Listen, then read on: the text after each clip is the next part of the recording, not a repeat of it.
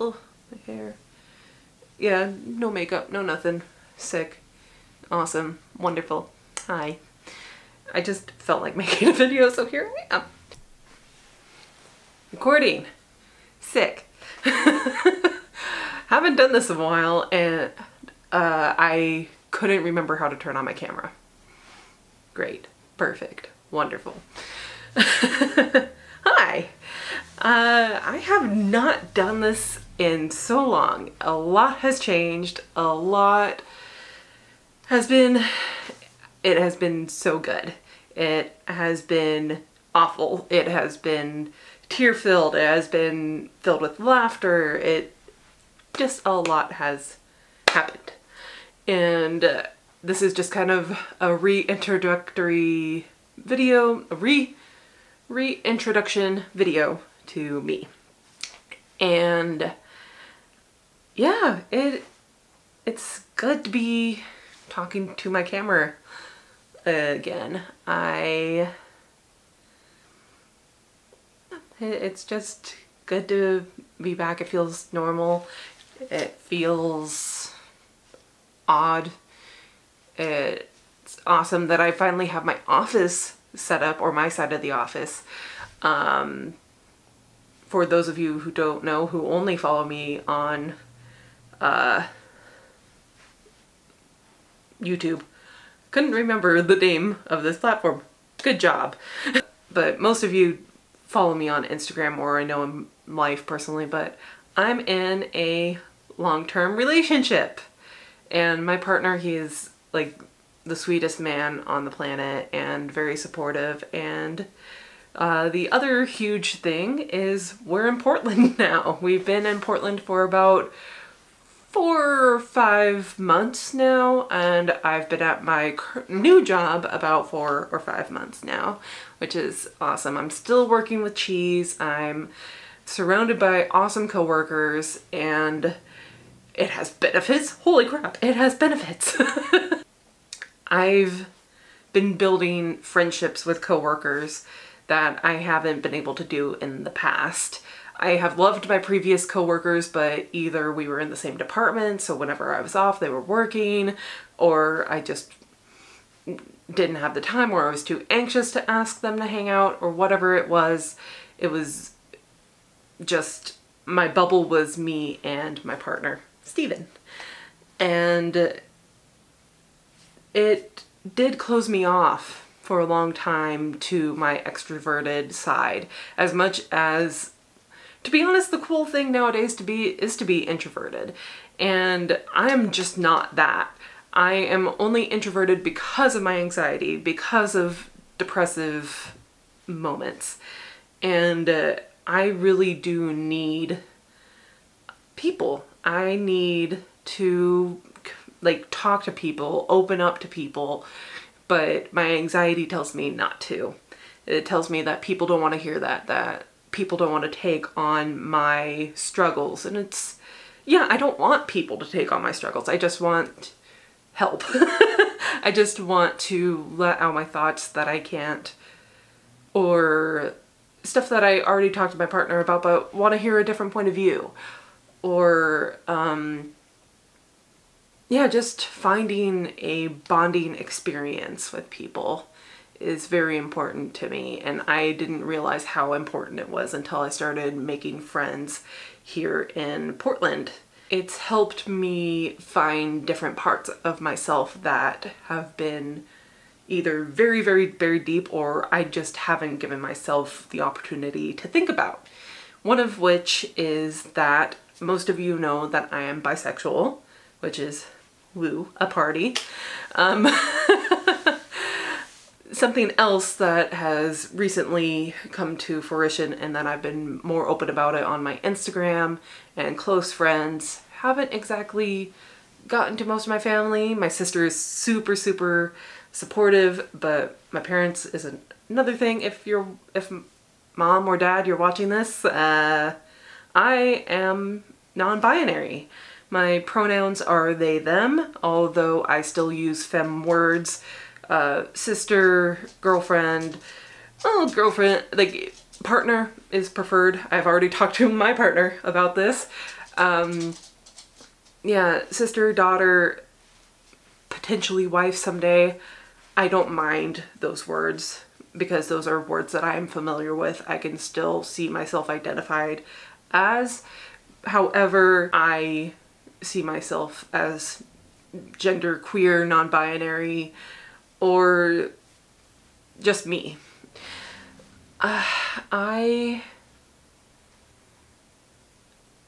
yeah, it's been an experience and I've had really cool people that I'm lucky enough to work with, but also be good friends with now, just within a couple months, exploring my pronouns and so my friend, um, who was one of the first people I came out to, uh, came up to me, or the day before we were sitting um, at a bar just talking and they were like, oh, by the way, my pronouns are he, him. I was like, cool. And inside, I had already been questioning my gender identity and my pronouns, and I freaked out and I didn't say anything. Luckily, at that moment, he didn't notice, which is fine. But then the next day, him being him, noticed that I didn't say it and came up and was like, hey, I noticed that I, I didn't ask you what your pronouns are. I'm sorry I didn't do that. What are your pronouns? And I felt like curling up into a ball and like hiding because I wasn't sure.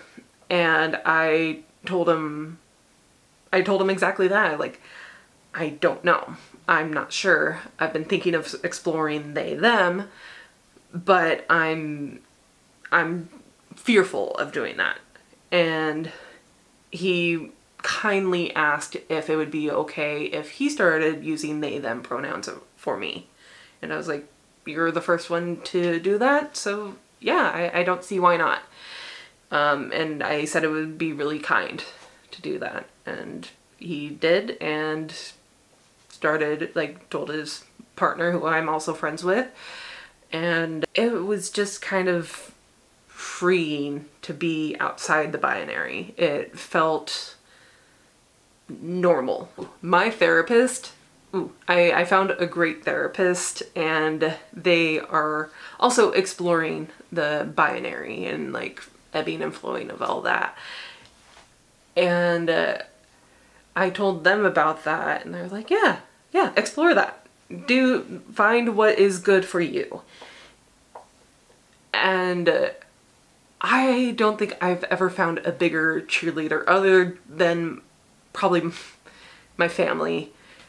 I, I've just been taking baby steps into this gender queer thing.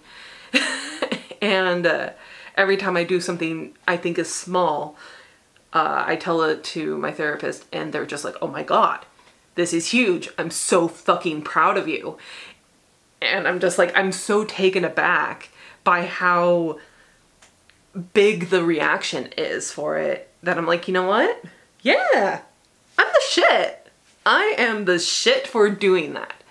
And uh, I just kept taking these baby steps and like, it's like, I don't want to say, I, I like, I mean, everybody wants validation. And of course, a lot of the validation should come from within us. However, like having that external validation is normal and to a certain extent healthy. And I definitely feel like that external validation, especially from my therapist and my new close friends, is helping me be more comfortable with it if there are people out there who like aren't reactionary to it, that's fine too. As long as like they're not saying anything rude to me because I'm a delicate fucking flower. Yeah, it's just been a wonderful experience and I'm so insanely lucky to live in the place that I do, to feel safe, uh, to be myself, to discover who I am and not a lot of people can say that. I real I know.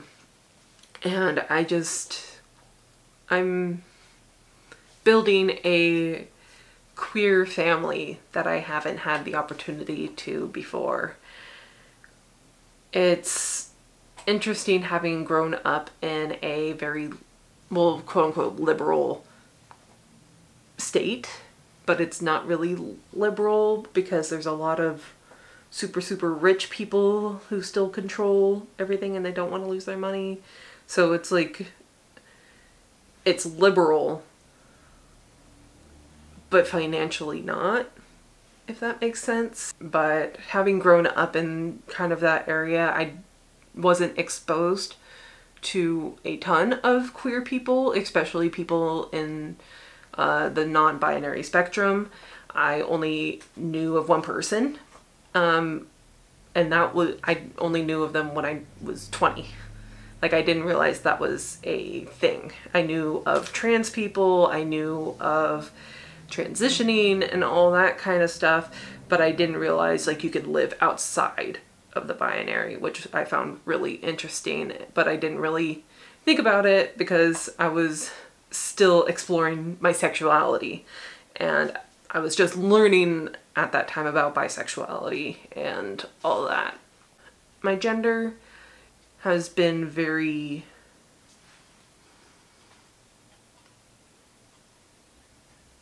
I don't know. It's been interesting to say the least. Also, what am I talking about? I'm also growing my fat positive family, which is like as much as I love that I'm building a queer family, fat positivity is some other shit. It is amazing. It is so insanely validating to know that I am not alone in my body.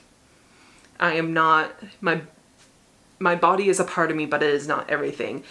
My body is a radical statement. I mean, it should it should not be. It should not be a radical statement, but it is because I am living in it and I am enjoying it. And fuck if I have not taken some seriously sexy photos that I'm not going to be sharing for a good long time. Um, especially since my Instagram is kind of linked to my work Instagram, so I'm like, hmm, probably shouldn't post that just because I am tagged and then I deleted that and the company might be like, what the fuck, one of your employees is posting that and be like, bye-bye. Don't want to lose my job, like my job. Once again, moving off track. And I feel like I'm going to have to chop this down significantly and at least this is like a very good way for me to get out my thoughts because I want to, I say this every fucking video. You know what, I'm not gonna say it because I feel like I jinx myself when I say the thing that I was about to say, but I'm not gonna say it because I like doing this. I like chatting. And my doggo is here. Hi, Ruby. Come here. It's just a Ruby. For those of you who don't know and see a shit ton of her pictures, please don't lick me. She's kind of camera shy, huh? Yeah. Well, thank you everybody so much for watching. Just thank you for sticking it out and being here with me and the Ruby. Oh my goodness. she is a child. Yeah. I really appreciate you all watching whoever it is, if it's one or 50 people. Thank you. Ruby appreciates it too. Thank you so much for watching. Keep on keeping on, and I'll talk to you later.